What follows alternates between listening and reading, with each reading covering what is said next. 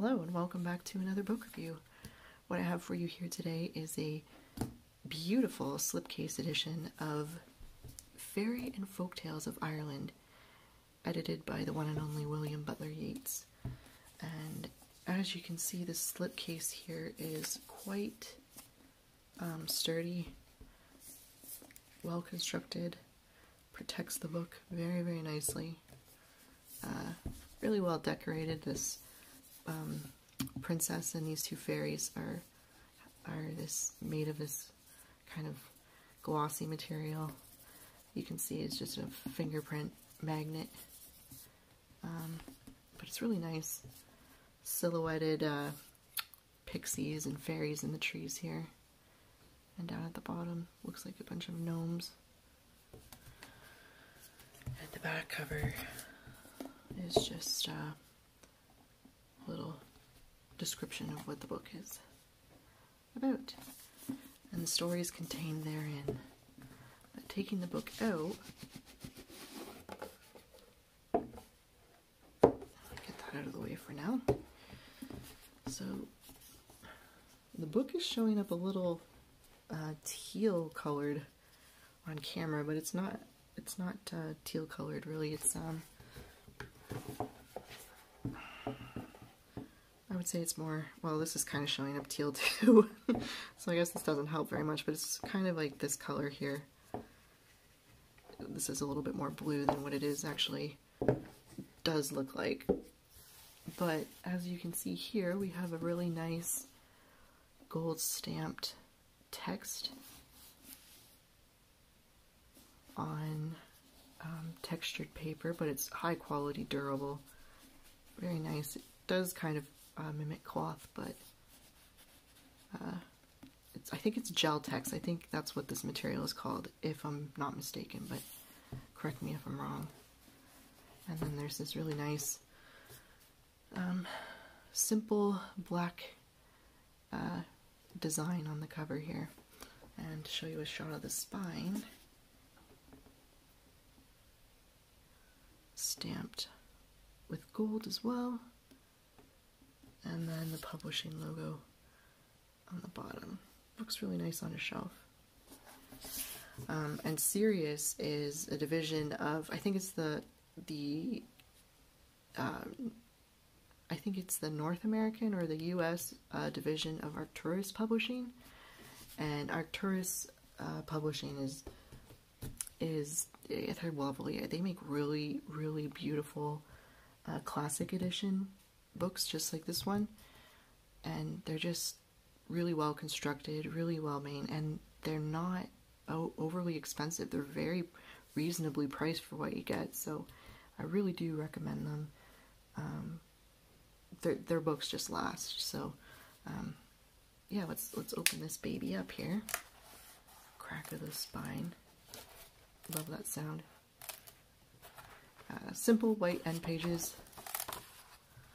Title page here with a nice Celtic tree.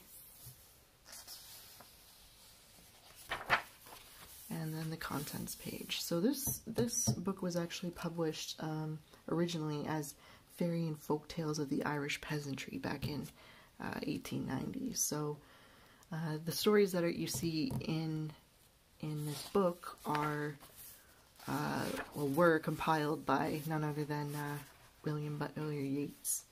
And he gathered them from around Ireland from a variety of historians, uh, one of them being actually Lady Jane Wilde, who is the mother of Oscar Wilde.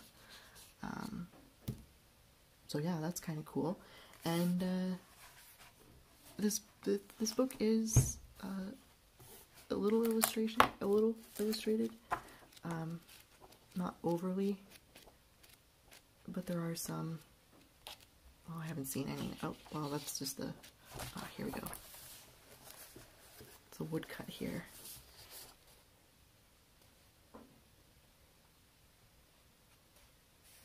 Really nice detail, look at the line work.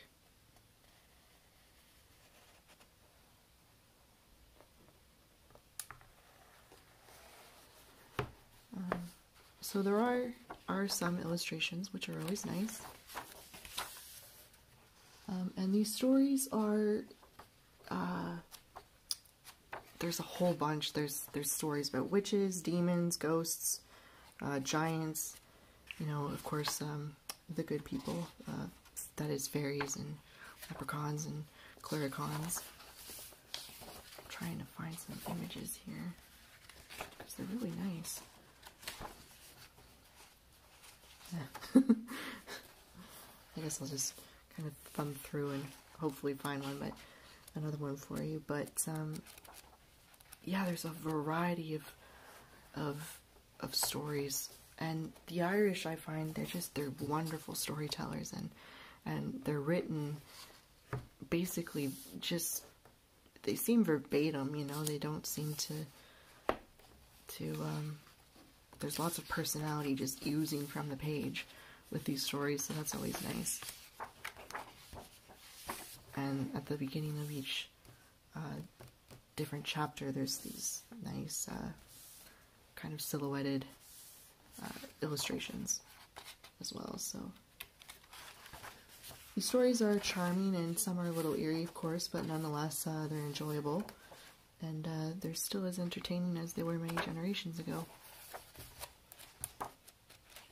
I will say though that um, um, there is a lot of the Irish language mixed in with English, which can make it a little bit difficult to read, uh, especially pronunciation wise, because you know they're just um, the way the way Irish words are spelled and how I would how I think English speakers would pronounce them are not at all how they are actually pronounced. So, um, but it is. I will say that there are these little um, footnotes, and there is also a notes section in the back.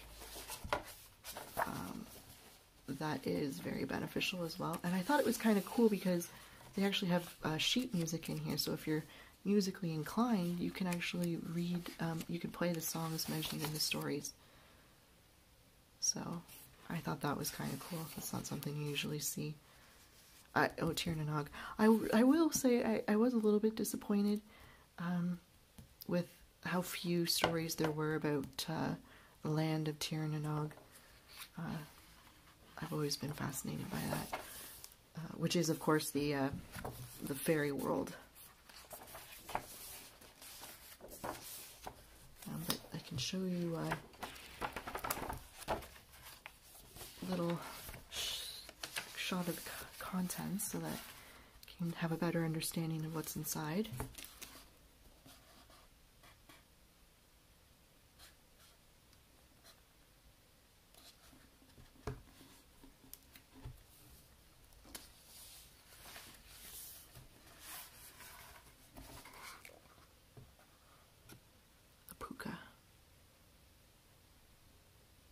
The Banshee. Those were good. They, they were all really good. I really liked them. The Priest Soul, that was uh, told by Lady, uh, Lady Jane Wilde. And a charcoal, looks like a charcoal sketch of uh, Mr. Yeats. He has a very pronounced nose. He almost has like a beak nose. I remember thinking that when I first saw a picture of him. And then a little pixie here in the corner of the introduction, written by uh, Yeats. Just about um, how he came to find these stories and, and uh, whatnot. We start the uh, start the book off with the trooping fairies. It, it, this is a really lovely book. Um, like I said, I can't I can't rave enough about Arcturus and Sirius. So, um, if you are interested in fairy and folk tales, especially ones around Ireland, I definitely recommend picking up a copy. Um, it's well worth well worth the price. Um, but that that is it for this video. I hope you enjoyed watching and got some sort of satisfaction and I shall see you in the next video. Take care.